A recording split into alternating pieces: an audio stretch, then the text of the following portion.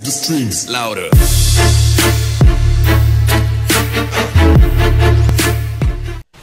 Hey, what's up, guys? My name's Switcher T Scored, and today I'm bringing you guys MOAB with Every Proficiency episode number 6. And this one is using the melee proficiency. So, uh, one thing I want to point out is that the melee one actually makes your melee speed a little bit faster. So, if you're using this weapon proficiency in the game, it basically makes it so that when you try to knife people, uh, it does the knife animation like a little bit quicker, I guess, so then you don't have to uh, take as long. There's a lot of times where, like, if you try to knife somebody, it takes too long long to like pull out the knife and then knife them and then uh, you know tuck the knife back in. And then a lot of times you get shot like as it's doing the animation. So uh, that's kind of what the melee one does in this game.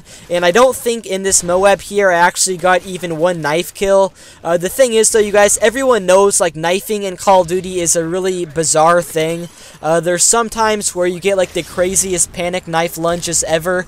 Like you've taken like five bullets of damage and then somebody's like 10 feet away from you and then somehow you're able to knife them.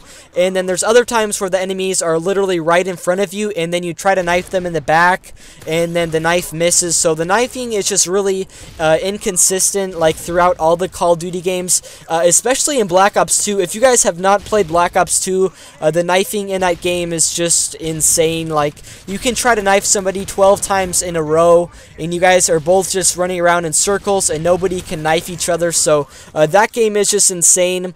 And uh, in this gameplay, you guys, like, I was running the melee proficiency, but uh, I didn't really get any knife kills, so I do apologize for that. I wish I could have gotten maybe a few knife kills to kind of show you guys uh, that the animation speed is a bit quicker, so uh, that's kind of just all I really wanted to say about the gameplay. It's basically just a standard MP7 MOAB here on Dome, uh, because I didn't really get any knife kills, so that's all I really wanted to say.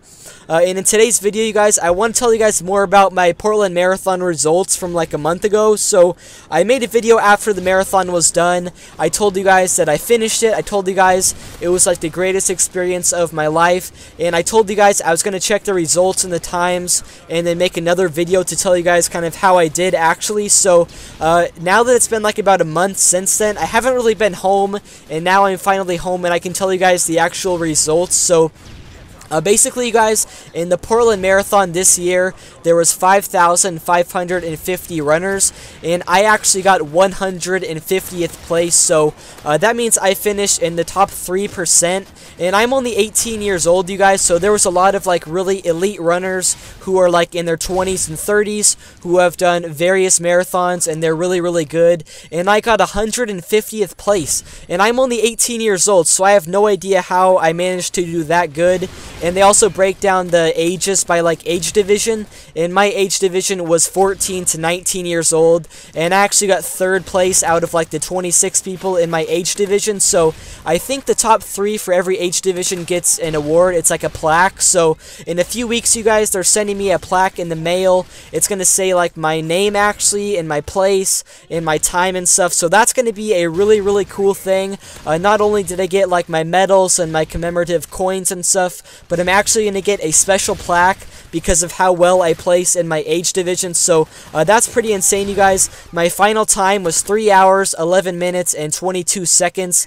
And that means I ran 718 mile pace uh, for 26 miles in a row. So I still can't believe I did that well, you guys. I trained at like 730 mile pace when I would do like, you know, 10 to 15 mile runs. And then I managed to do a 26 mile run at a way faster pace. So when you do a real marathon or like a real race, you guys, you just get that extra adrenaline. Your body just like takes itself to like a new level. And I just cannot believe how well I did. And the craziest thing, you guys, is that I actually qualified for the Chicago Marathon in 2016 and that's arguably the third fastest or the third best marathon in the world behind New York and Boston. So my time of 3 hours 11 minutes was less than 3 hours and 15 minutes. So I did qualify you guys. I'm trying to save up money for Chicago. I'll make another video about that tomorrow, but uh, I cannot believe how good I did, you guys. It's absolutely insane, and uh, hopefully you guys enjoyed the video. Peace out, you guys.